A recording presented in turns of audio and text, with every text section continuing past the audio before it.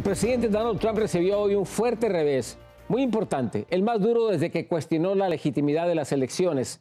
El fiscal general del país, William Barr, afirmó hoy que no hay evidencia alguna sobre un fraude electoral, como continúa insistiendo el primer mandatario. Dayanis López nos tiene todo el reportaje. Nadie se esperaba que el último revés contra el presidente Donald Trump fuera propinado por uno de los hombres más fieles a los intereses del mandatario. El fiscal general William Barr admitió que el Departamento de Justicia no halló ninguna prueba de fraude generalizado que cambiara el resultado de las elecciones. Hasta la fecha no hemos visto fraude a una escala que hubiese podido afectar y dar lugar a un resultado diferente en la elección, dijo Barr. En declaraciones a la agencia de prensa asociada, dando un duro golpe a las teorías de conspiración propagadas por Trump y su equipo legal.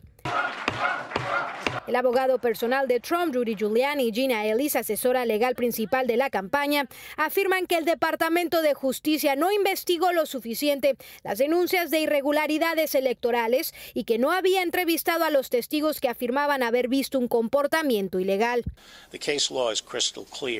El cambio radical de William Barr pudiera traerle consecuencias por parte de Donald Trump.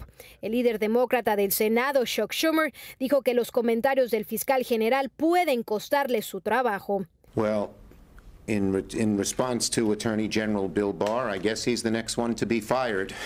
Since he now too says there's no fraud, Trump seems to fire anyone in that regard. A pesar del golpe, Donald Trump continúa alegando que ha sido despojado del cargo por un robo, una estrategia con la que ha logrado reunir unos 170 millones de dólares gracias a donaciones solicitadas para financiar su batalla legal. Dayanis López, cierre de edición.